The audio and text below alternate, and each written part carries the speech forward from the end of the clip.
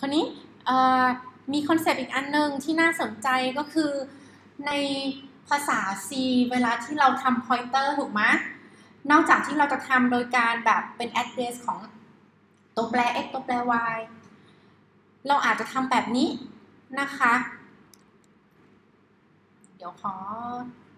comment ไว้แล้วกันเนาะ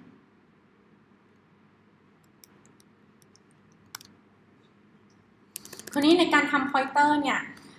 ทำแบบนี้ก็ได้ หรือใน C เราเรา malloc ได้ถูกไหมเรา malloc แล้วก็ฟรีใช่ไหมใน C++ จะมี concept คล้ายๆ malloc อะค่ะ คุณสามารถที่จะสร้างเวกเตอร์เป็นเป็นเป็นเอ่อเป็น myv ก็แล้วกันจะได้ชื่อไม่เหมือนกัน เท่ากับ แทนที่เราจะใช้เป็น m a l o c อะค่ะ มันจะมี keyword คำว่า new แล้วก็เวกเตอร์ แล้วข้างในเราก็ใส่คล้ายๆกับพารามิเตอร์ที่เราใส่ตรงนี้นะคะ5กับ66ก็แล้วกัน ในบรรทัดที่ 98 ตรงนี้คือคุณกำลังสร้าง myv ที่เป็น pointer อาจารย์อาจารย์เขียนผิดนิดนึงจริง ถ้าจะเขียนให้ถูกต้องต้องมีตรงนี้ด้วยอาจารย์ลืม pointer เข้าไป เพราะฉะนั้นเวลาคุณทำแบบนี้นะคะ myv จะเป็น pointer ชี้ไปที่ object vector 5566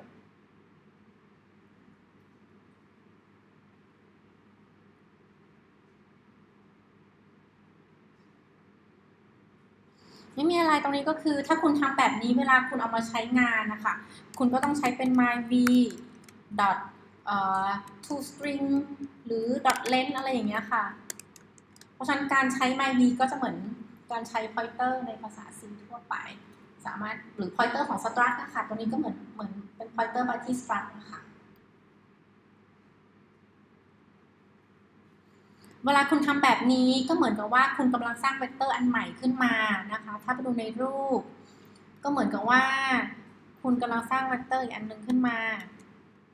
ตะกี้คือ 5566ถูกไหมก็จะเป็น myv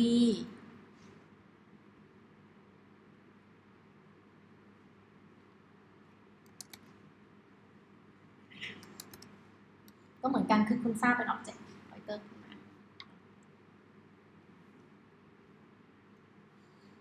คราวนี้ ถ้าเกิดสมมุติว่าคุณใช้เสร็จแล้ว ถ้าเป็นภาษา C คุณต้องฟรีถูกไหมต้องฟรีนะคะถ้าถ้าเกิดเป็น C++ เราจะใช้คำว่า delete นะคะ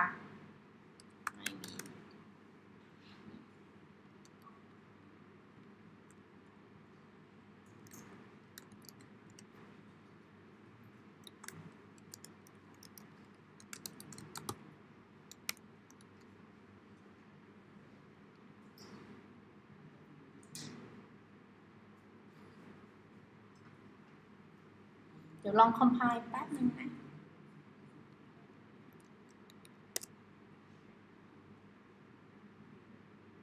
ที่เดี๋ยวอาจารย์ลืม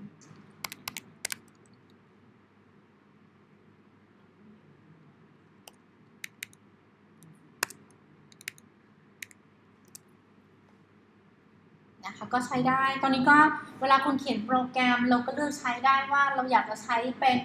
pointer หรือไม่ใช่ pointer อะไรอย่างเงี้ยค่ะ ซึ่งตรงนี้จริงๆแล้วใช้ pointer มันจะดีกว่าเนื่องจากเวลาที่เราไม่ใช้ pointer อะตอนที่เราทำเครื่องหมายเท่ากับแบบนี้ค่ะ มันจะ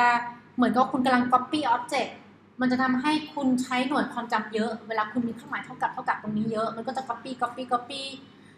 ถ้าคุณมีเครื่องหมายเท่ากับแบบนี้เยอะ สุดท้ายหน่วยความจำคุณอาจจะหมดก็ได้ ถ้าเกิดคุณใช้เป็นพอยเตอร์ค่ะ ตรงนี้คุณควบคุมการสร้างอ็อบเจกต์ได้ง่ายกว่า